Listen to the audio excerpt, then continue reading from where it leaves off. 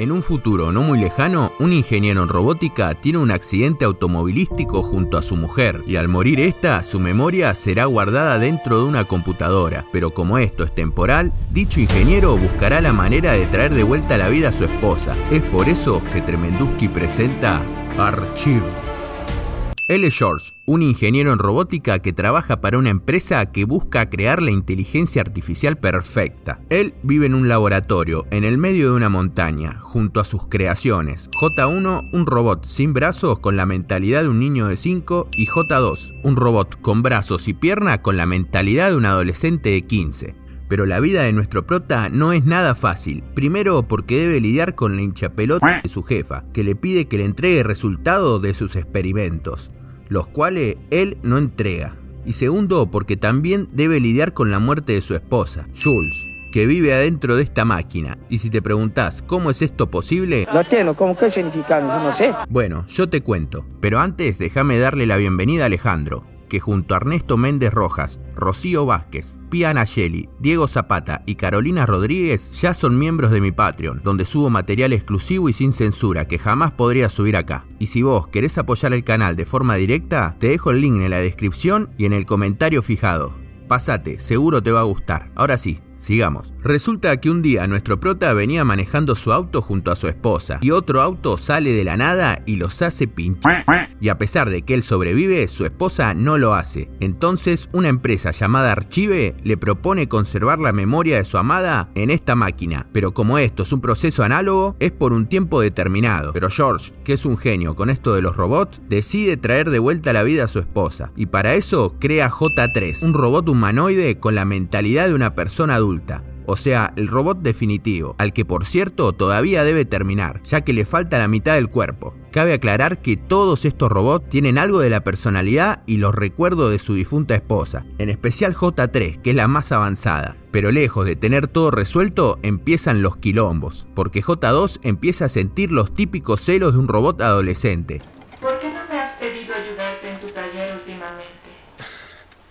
¿Es eso? ¿Te estás aburriendo aquí conmigo? Sé lo que haces ahí dentro. Ya hablamos de esto, ¿de acuerdo? No te estoy reemplazando. Es mentira, es mentira, mentira global, es una mentira. Y además de eso, un agente de archive llamado Bissett Sinclair, junto a otro con un nombre imposible de pronunciar, caen a controlar la computadora donde descansa su esposa. ¿Ha presentado algún problema? Preguntan estos. Sí, cuando intento llamarla no puedo comunicarme, pero ella sí puede comunicarse conmigo. Ah, eso es normal en esta etapa, dice uno de los agentes mientras va a inspeccionar todo. Pero cuando este termina de revisar, dice... Los sellos de seguridad de la unidad fueron violados. Los sistemas ambientales se alteraron. ¿De qué está hablando?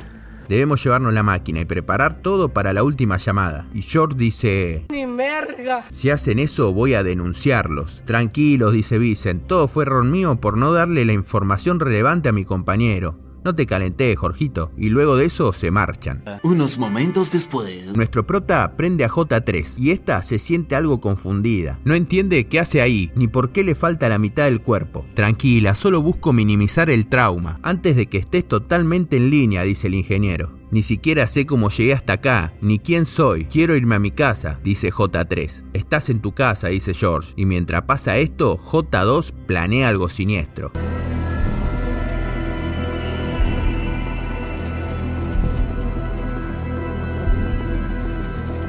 Más pruebas se hacen a J3, de inteligencia, de gusto, de empatía, y además de eso le presenta a su hermana, Ella es J1. a la que J3 le da la mano. Hola. Es un chiste. Chiste. Perdón, hago tantas cosas que no pude construirle los brazos, pero a ella no le importa. ¿Y a mí me vas a terminar de construir? Pregunta esta. Por supuesto. ¿Y cuándo va a ser eso? Dice J3. Quédate tranquila que en unos días más vas a ser totalmente autónoma. Al día siguiente. Nuestro prota no para de soñar con su difunta Germu, pero aún así hay trabajo que hacer. Así que, que mientras él hace el mantenimiento de las torres y de las cámaras de su casa, ve unos drones melodeando por la zona. Y esto es un dato más que relevante, porque más tarde cuando se reúne con un asesor de riesgo, le muestra una foto de él durmiendo. Esto es señal de que lo están espiando. Y le dice, como mi deber es cuidarte a vos y a todo lo que hay en ese laboratorio, te voy a dar un maletín, pero solo lo vas a usar en caso de emergencias. Así, después de esto, conocemos un poco más de cómo nuestro prota terminó donde está. Tres años de investigación sólida con un prototipo aceptable al fin. ¿Qué? Wow, ¿qué? Sí, ellos me lo dieron. Wow. ¿Te dieron un taller en mesa? No, ojalá no. Es en la prefectura de Yamanashi. Pues es Japón. Mediante un sueño que es interrumpido por la alarma de su casa, ya que alguien ha entrado y se llevó a J3, y este por las dudas abre el maletín. Entonces el asesor cierra todas las puertas del laboratorio a distancia. Solo quería ver qué pasaba, dice nuestro prota. Abrime la puerta que necesito salir, y cuando este la abre, George sale cagado a buscar a J3, pero por mucho que busca afuera no la encuentra, porque el androide se encuentra adentro, y cuando este la encuentra, Está bien, está bien. Cálmate, cálmate. Escucha. entonces este le cuenta toda la verdad. Estos son los datos que la computadora ha podido sacar del archivo. Una vez ya pude extraer una forma de señal análoga del programa. E intenté reconectarla, pero no pude. Esperé mucho tiempo. Cerca de un año. Y entonces vi algo. Era ella. Y usé eso para crear una plantilla de personalidad. Y con cada una, exponencialmente se volvió mejor. Siento que es como mi hermana. Sí, todas sienten esa relación de alguna forma. Y después de eso le dice, ahora que ya sabes la verdad, decime qué pasó y cómo llegaste ahí. J2 me llevó a ver a tu germo y me contó todo. Y después de forcejear un rato, perdí el conocimiento. No recuerdo nada más. Entonces el ingeniero se recalienta y le dice, esta vez te pasaste de la raya. Vos y tus celos me tienen harto. Yo solo quería que te fijes en mí, quería que me sigas mejorando y no fue mi intención lastimar a nadie. Pero lo que diga esta no logra convencer a George que apaga J2 y como si esto no fuera suficiente, le saca las piernas para ponérsela a J3 y después de una escena que se ve bonita pero que obviamente no entendemos, J3 está perfeccionada.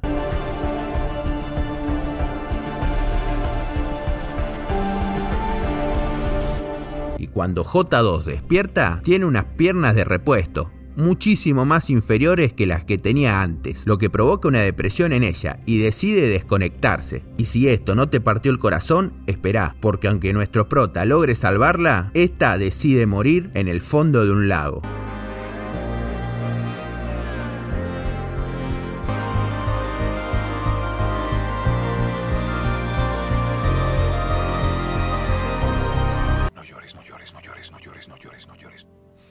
Y aunque todos la buscan, no logran encontrarla. Así que después de eso, le hacen un entierro. Todos están tristes, a excepción de J3, que más que triste está media caliente, ya que tiene recuerdos cochinos con su creador. Y este se levanta y le dice, nada de cochinadas, podría ser mi televisor. Nada, mentira, no le dice eso, pero sí la echa. Y es ahí cuando J3 recuerda todo. Inclusive recuerda que en el momento del accidente, Jules estaba embarazada. Nuestro prota queda helado y aunque intenta llamar a su esposa, no logra conectarse con ella. Entonces llama a la empresa y le dice, no puedo comunicarme con mi germo. Y el empleado de Archive le dice, es que tu mujer está a punto de morir, es hora de que hagas la última llamada. ¿Cómo puede ser esto? Si hace unos días vino Vicent y su compañero y me dijeron que estaba todo bien. Discúlpeme señor, pero en nuestra empresa no trabaja ningún Vincent. Así es, nuestro prota fue engañado. Y para empeorarla, su jefa lo llama recaliente y le dice que Archive se adueñó de J2 después de que la sacaron del fondo del lago. Y que ahora van por él y por sus otros robots. Y después de callar a la rompola de la jefa, el ingeniero le dice a J3 que en realidad ella fue creada para almacenar la memoria de su mujer y así poder sacarla de la computadora antes de que ésta muera definitivamente. Y mientras esto pasaba, Archive está intentando de entrar al laboratorio para parar con todo esto. Entonces, luego de convencer a la muchachita robótica, George instala lo que queda de su mujer en J3. Y cuando creemos que todo había salido bien, Sí, George. sí, sí. Sí, soy yo. Agárrate de algo porque te vas a caer de culo cuando te enteres de que en realidad el que murió Esta es la última vez que podremos hablar. fue él. Me dicen que tu sistema va a expirar. Lo lamento. No pude decirte todo. Pero quiero que sepas que te amo. Así es, él era quien estaba dentro de la máquina. Hay algo que necesito